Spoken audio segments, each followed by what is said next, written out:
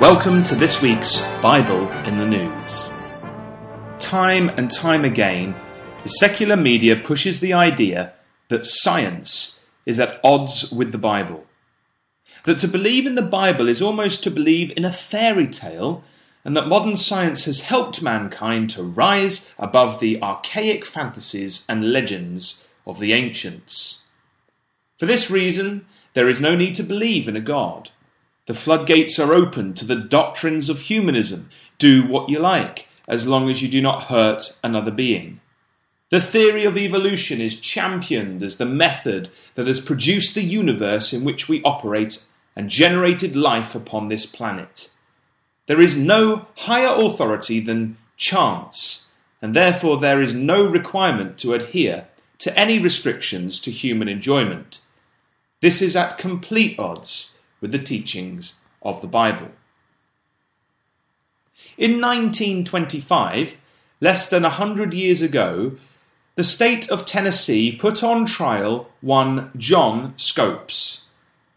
His charge was that he taught evolution in his state funded school. He was found guilty and fined.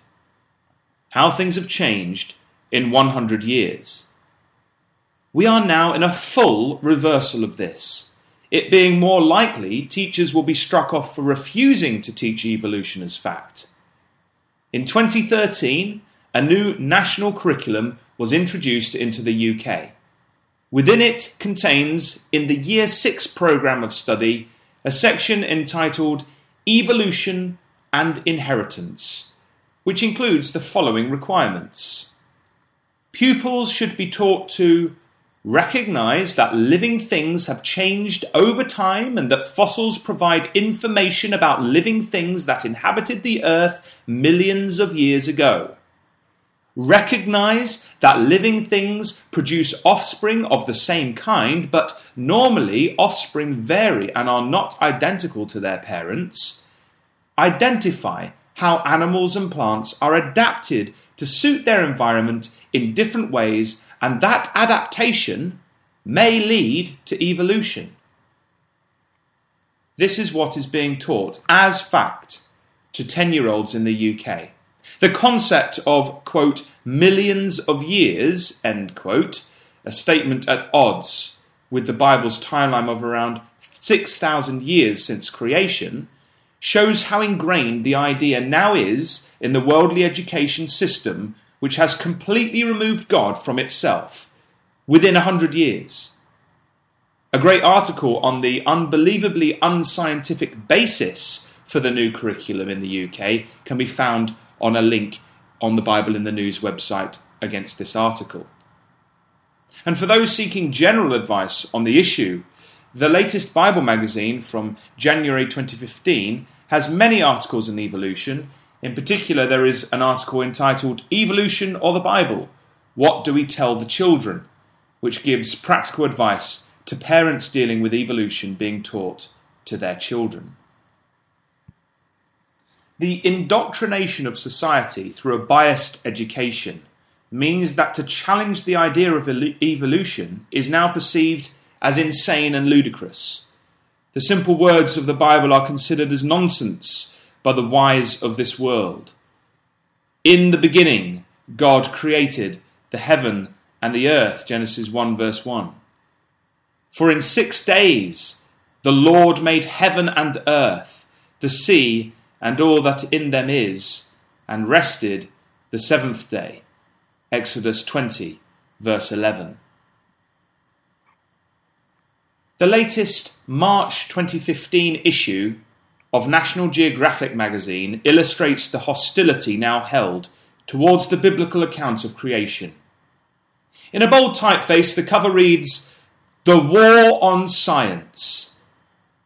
The issue deals with sections of American society at odds with the claims of modern science.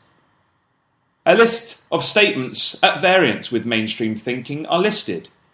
Climate change does not exist. The moon landing was fake. Vaccinations can lead to autism. GMO is evil. And mixed in with these fairly well established concepts is the big one evolution never happened. Yes, they have put this topic up there with the moon landing was fake.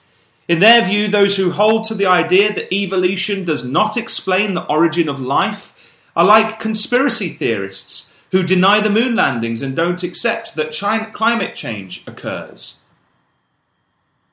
The secular media is not willing to admit, though, that the whole idea of life being brought about by a process of evolution is, in fact, based on assumption and faith. True science is based on observable results.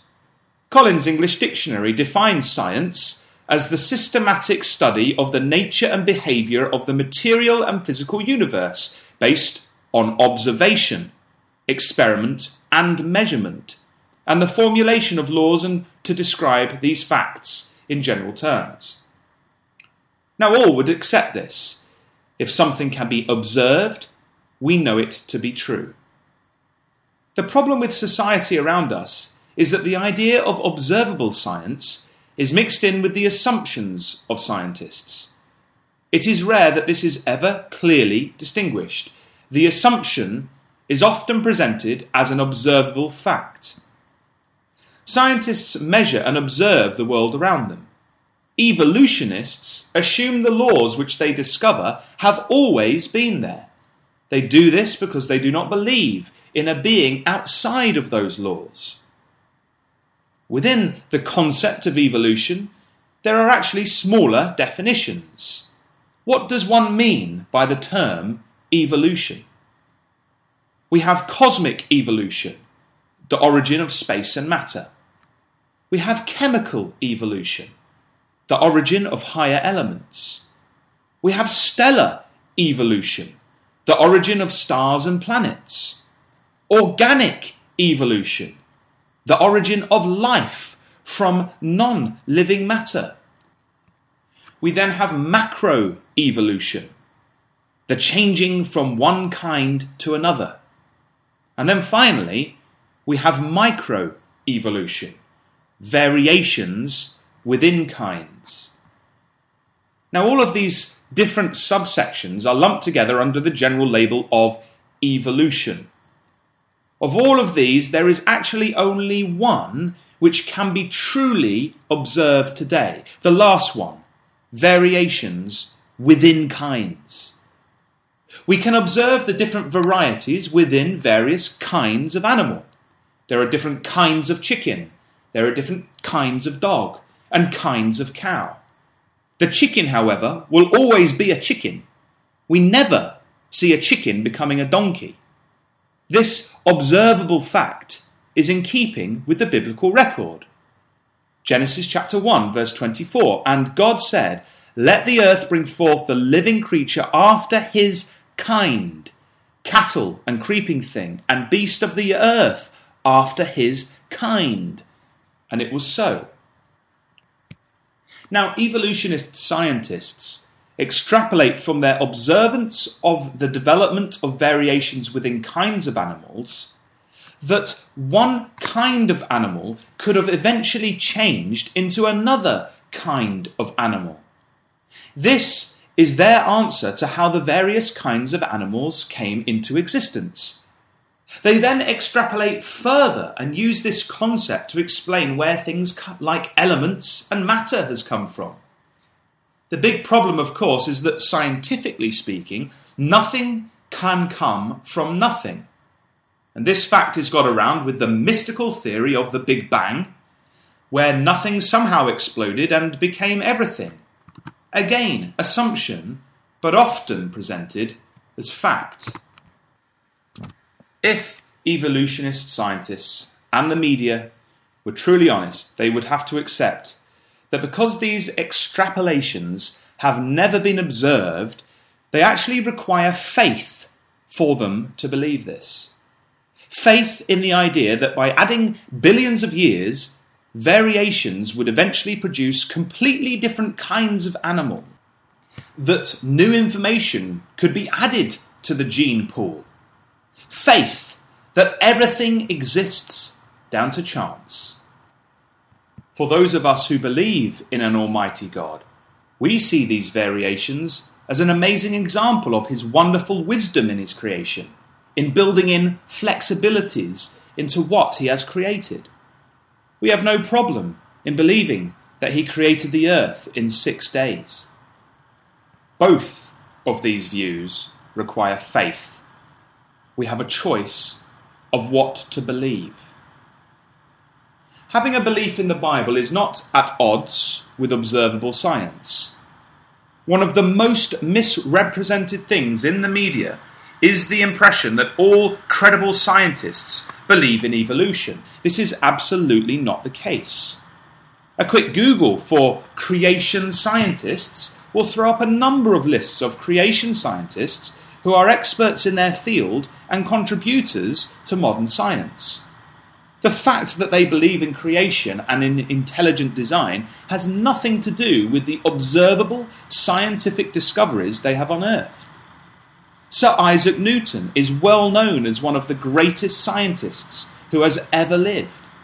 Many people do not realize that this man held a deep belief in God and that he looked at his scientific investigations as a way to a greater knowledge of a creator God. He stated, quote, This most beautiful system of the sun, planets, and comets could only proceed from the counsel and dominion of an intelligent being. This being governs all things, not as the soul of the world, but as Lord over all. And on account of his dominion, he is wont to be called Lord God or universal ruler. The supreme God is a being eternal, infinite, absolutely perfect. Far then from being opposed to observable science, a belief that all things have been created will actually allow a scientist to expect patterns and logic in what he observes. This was certainly a benefit in Isaac Newton's case.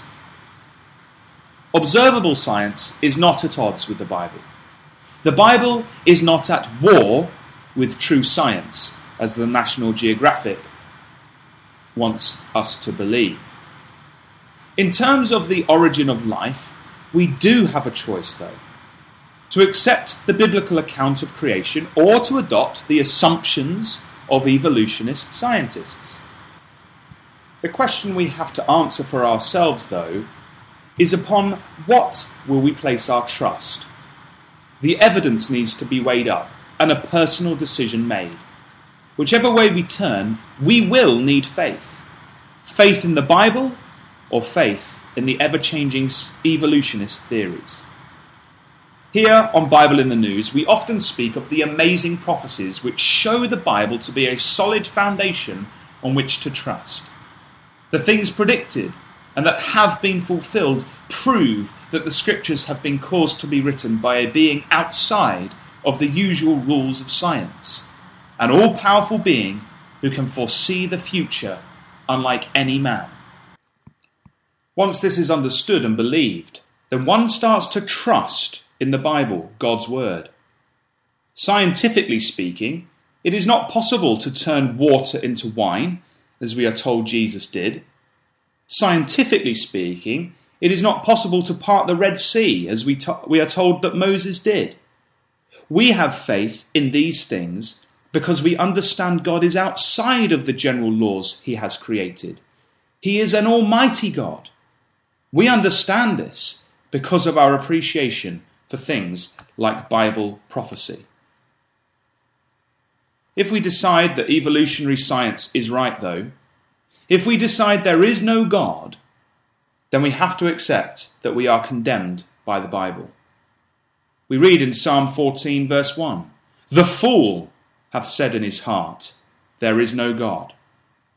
And in Romans 1, we have a passage which is most relevant to this consideration and gives us pause for thought we read there, For the wrath of God is revealed from heaven against all ungodliness and unrighteousness of men who hold the truth in unrighteousness, because that which may be known of God is manifest in them.